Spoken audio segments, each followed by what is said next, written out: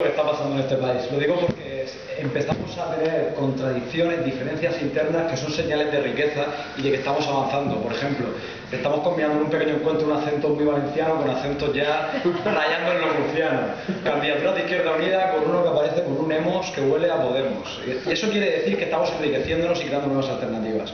Lo digo porque yo me he visto y digo, coño, digo con la camisica, con una candidatura que acaba en emos, y esta gente va a pensar que soy de Podemos. Te falta la coleta. Y me falta la coleta. Y hablar un poquito mejor. Y además me la voy a jugar. Voy a. Al final es que el problema de una campaña electoral es que no puedes evitar sentir que te estás repitiendo, pero eso es señal de que lo estás haciendo bien, de que hay un mensaje que está empezando a calar. Y nosotros hace poquito hicimos un acto y yo empecé hablando de una serie de televisión. Juro que no juego de tronos. Eso ya sería excesivo. sería excesivo. Pero yo no sé si habéis visto una serie que se llama The Wire, ahora que hemos visto la noticia Baltimore, una población americana donde entre un 10 y un 20% de la gente está enganchada a la heroína y donde el narcotráfico es el pan de cada día. Fue muy famoso hace poquito. Pues esta serie habla del narcotráfico en esa ciudad y de cómo hay dinámicas políticas internas muy oscuras en la guerra entre la policía, el tráfico, la política, cómo está metida en todo esto. Y hay una escena muy chula que yo creo que recuerda un poco esa vocación de participación y de transformación que tenemos que tener.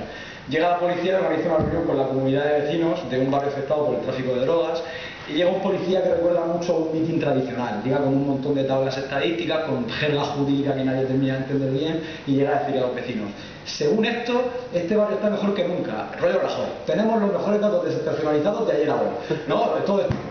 Empieza a hacer una moto y la gente no se lo cree. Hasta que de pronto alguien se levanta, se levanta la mujer, lo interrumpe y le dice, mira, yo no sé muy bien lo que me estás diciendo. Yo sé que por las noches seguimos oyendo balazos, que mis hijos tienen riesgo de caer en la droga, que por las noches no puedo salir de mi casa, que mi barrio sigue siendo un sitio lamentable. Eso es lo que yo sé y tú no me lo puedes engañar con números.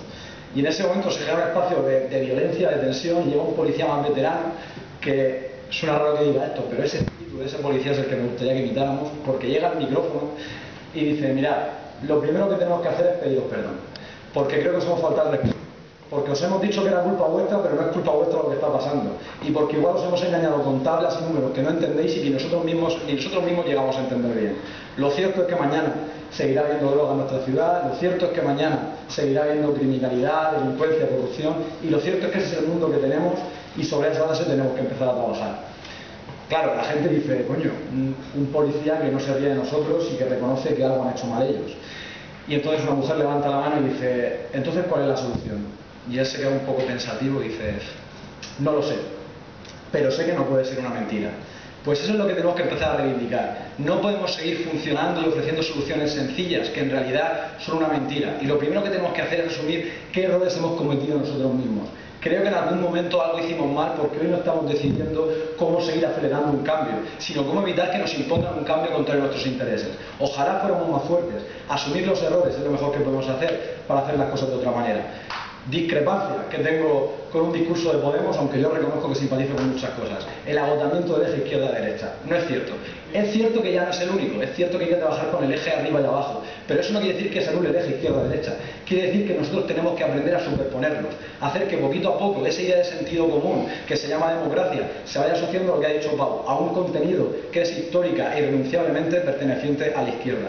Creo que nuestro papel es entender ese espacio de complementariedad, Podemos no es un enemigo, Podemos es un complemento político que va a iniciar un cambio, claro que sí, pero ese cambio no va a ser nada si no hay una izquierda fuerte que lo ancle por la izquierda. A mí no me preocupa.